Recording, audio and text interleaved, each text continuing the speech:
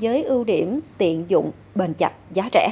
Túi ni lông đang là vật dụng được ưa chuộng và sử dụng rộng rãi trong nhiều lĩnh vực, ngành nghề, sản xuất dịch vụ, đời sống sinh hoạt của mỗi người dân. Tuy nhiên, chính thói quen sử dụng túi ni lông phổ biến đang âm thầm gây ô nhiễm môi trường sống và ảnh hưởng trực tiếp đến sức khỏe con người. Nhiều nghiên cứu trên thế giới chỉ ra rằng trong túi ni lông tiềm ẩn rất nhiều chất độc hại gây ung thư, rối loạn chức năng sinh sản. Các chuyên gia khuyến cáo ít nhất người tiêu dùng hãy tránh xa hoặc ngừng việc mắc bốn sai lầm phổ biến sau đây.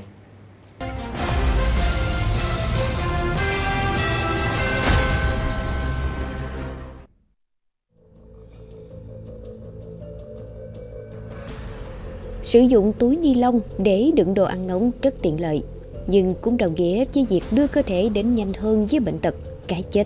Bởi vì ở nhiệt độ cao, túi ni lông bị tác động nhiệt, thậm chí nóng chảy và khiến các chất độc hại bám hại qua tan vào thức ăn. Ngay cả với ăn đồ nguội, lạnh, nếu đựng trong các túi ni lông quá lâu cũng gây thiệt hại cho sức khỏe. Với thực phẩm nhiều axit như giấm, dưa chua, cà muối, các món ăn nhiều dầu hay chế biến nhiều muối, nước sốt, đựng bằng túi ni lông khiến kim loại nặng, chất độc hại, chất quá dẻo hòa tan rất nhanh. Chất lượng túi ni lông có ảnh hưởng rất lớn đến lượng chất độc xâm hại vào cơ thể. Chúng thường có hai loại. Loại thứ nhất được sản xuất từ 100% các hạt nhựa PV và PP nguyên sinh từ dầu mỏ nguyên chất. Loại nhựa này không gây độc hại cho con người. Loại thứ hai chính là túi ni lông tái chế từ nhiều sản phẩm nhựa qua sử dụng.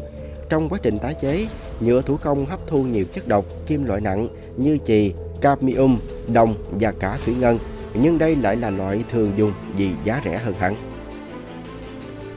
Túi ni lông tuyệt đối không được dùng trong lò vi sóng bởi lò vi sóng làm nóng hơi ẩm trong thực phẩm.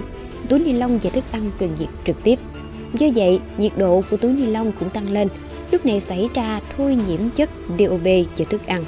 Nếu bị nhiễm chất này lâu dài, các bé trai có thể bị nữ tính quá, vô sinh nam, còn trẻ em nữ có nguy cơ vậy thì quá sớm.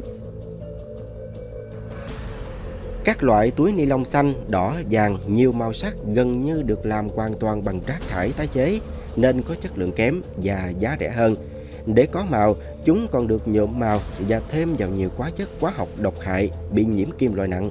Theo Viện Nông nghiệp và Chính sách Thương mại Mỹ, thực phẩm được lưu trữ trong các túi nhựa màu chứa hóa chất có thể ngấm vào thức ăn, sau đó được hấp thụ vào cơ thể sẽ làm thay đổi mô, tổn thương di truyền, gây ung thư, vô sinh, sảy thai, dị tật bẩm sinh và những thay đổi về nội tiết tố.